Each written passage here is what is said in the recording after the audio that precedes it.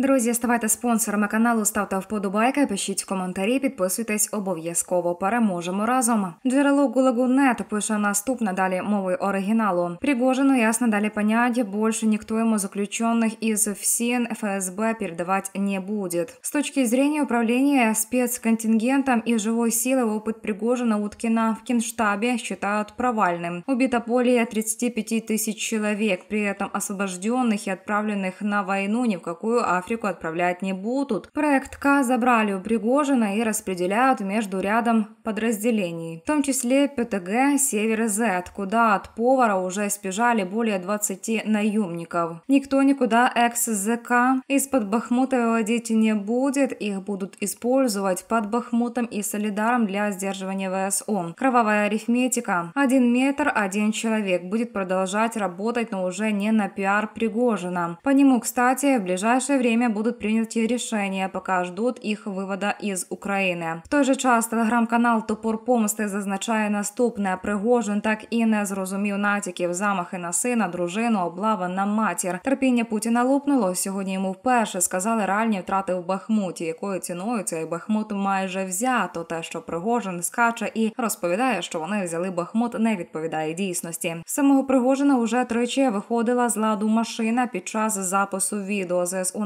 накрили всіх. Очевидно, що координати злили. Пригожин не постраждав, але нарешті зрозумів. Його впливу і сила не вистачить. Потрібно тікати, тому і заявив про відхід. В той же час може бути імітація автокатастрофа чи епічний вибух, після якого з Пригожином буде покінчено. Але справді чи ні, для багато кого буде загадкою. А от військово-політичний оглядач Олександр Коваленко вказав, що засновник ПВК Вагнер опублікував ролик про взяття Бахмута не в той час доби. У своєму телеграм-каналі він зазначив, що ділянка, яку показав колишній кухар Путіна, в кадрі не відповідає тому районі, звідки армія Російської Федерації, нібито вибила ЗСУ район літак. Якщо він віщає про взяття Бахмута, а це ділянка по Чайковському та літачку, то чому він не зняв переможне відео на його телі? Точніше, того, що залишилося від літачка, звернув увагу Коваленко. Також він вказав, що Пригожин квапить події, тому він поспішив опублікувати ролик із замітку про Бахмут. Цей запис повинен був вийти у есері, стверджує Коваленко. Пригожин квапить події, неодноразово обпалившись на заявах про взяття Бахмута. Він знову прискорюється, щоб якомога раніше відрапортувати про взяття міста і почати виведення ПВК Вагнер, адже кухар прекрасно розуміє, чим пахне, вказує він.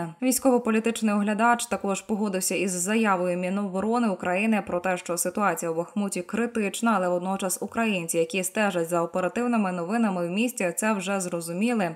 Стверджує він. За словами Коваленка, з урахуванням важких боїв складно прогнозувати, що буде далі. Однак армія РФ все ще не вибила з міста ЗСУ. Оборона Бахмута триває. До зустрічі, друзі. Ставайте спонсорами каналу, ставте вподобайки, пишіть коментарі, підписуйтесь обов'язково. Переможемо разом.